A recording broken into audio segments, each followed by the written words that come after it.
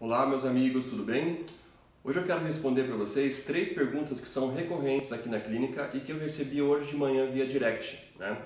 A primeira delas, drenagem linfática após a cirurgia é recomendável? Quem deve, é, quais cuidados devem ser tomados? A drenagem linfática ela é altamente recomendável. Eu entendo de drenagem linfática, mas para realizar a drenagem linfática e a condução do caso, eu deixo nas mãos das minhas fisioterapeutas que são especializadas nisso. Então elas vão definir quanto tempo vai ser necessário, quantas sessões serão necessárias e se existe ou não a necessidade de se associar aparelhos conjuntamente. Né? Então elas entendem mais que eu, eu deixo a cargo delas. Eu indico né, mais ou menos 10 sessões de drenagem linfática em dias alternados. ok? Outra pergunta bastante comum que me fazem, então, é é obrigatório o uso de cinta modeladora após abdominoplastia ou lipoaspiração? Uh, obrigatório não é. Qual a função da cinta modeladora?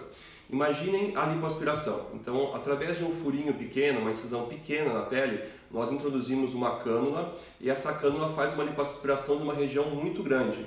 Então, o furinho é pequeno, mas a área atingida, o dano causado, é um dano grande. Toda agressão no nosso corpo produz um processo inflamatório. Esse processo inflamatório pode gerar uma cicatrização e se nada for feito, pode gerar uma fibrose na região, aquelas placas duras, é, onde a pessoa fez é, lipoaspiração ou abdominoplastia, ou ainda aquelas depressões. A drenagem linfática e a cinta modeladora vai prevenir isso daí.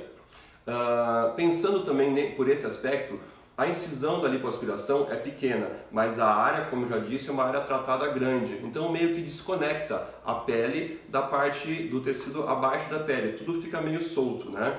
Eh, a função da cinta modeladora é, é fazer com que aquela pele solta se cole na posição que a gente quer, moldando o corpo também. Como a lipoaspiração causa, a abdominoplastia também causa uma reação inflamatória grande, a drenagem linfática associada à cinta modeladora ajuda esses produtos é, tóxicos a saírem da região, dando um grande alívio ao paciente. Se o paciente não fizer drenagem linfática, é, a chance de não ter é, fibrose, não ter nenhuma complicação existe. Mas se fizer drenagem linfática e a cinta modeladora, a chance de tudo dar certo é melhor. Além do que, encurta o tempo da gente atingir o resultado pós-operatório final. Uma outra pergunta bem interessante, não é sobre lipo nem abdominoplastia, é sobre é, prótese de mama, implante mamário. Depois de quantos dias após o implante de mama é possível levantar os braços? Uh, depende, né? Levantar os braços para exercer as suas atividades normais, pegar alguma coisa de peso em cima de uma prateleira, por exemplo, eu libero depois de 7 a 14 dias. Agora, se a gente estiver num contexto do que estão chamando hoje de Fast Track Recovery, ou seja, recuperação rápida após o implante de mama, aí a gente já pode solicitar que o paciente levante os braços delicadamente logo depois da cirurgia.